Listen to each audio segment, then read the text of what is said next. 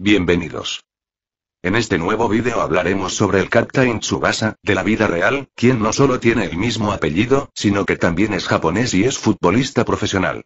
Cuántos cientos, miles, millones de fans se quedaron enganchados y vibrando capítulo tras capítulo con uno de los mejores animes de la historia y el mejor de fútbol que se haya creado, quien no vio el famoso anime Captain Tsubasa, mejor conocido en Latinoamérica como Supercampeones. Ya sea en la versión vieja y, o el actual remake donde los personajes llevan los nombres originales japoneses. Y llegando a emocionarse e intentando replicar las jugadas increíbles de Tsubasa Zora, Oliver Atom, para la vieja escuela Yuno, con sus amigos y sus rivales de turno.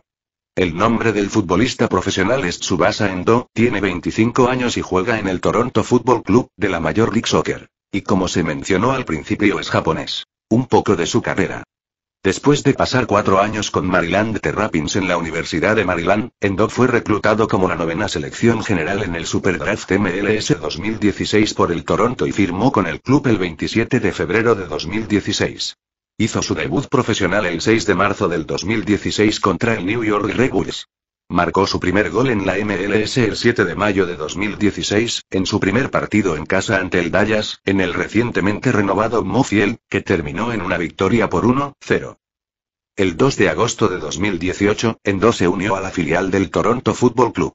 Hizo un impacto inmediato, marcando dos goles y agregando una asistencia en su quinto juego contra Louisville City.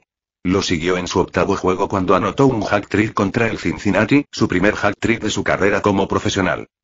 El 16 de enero de 2019, Endo se reunió con el equipo senior de Toronto en la MLS. El presente año seguro marcará muchos goles y dará muchas asistencias. Tsubasa Endo puede ser la persona más cercana parecida al querido personaje del anime Captain Tsubasa, Oliver Atom. Además que tienen algo de sus rasgos físicos. ¿Ustedes qué opinan? No olviden suscribirse, dejar su like y comentar.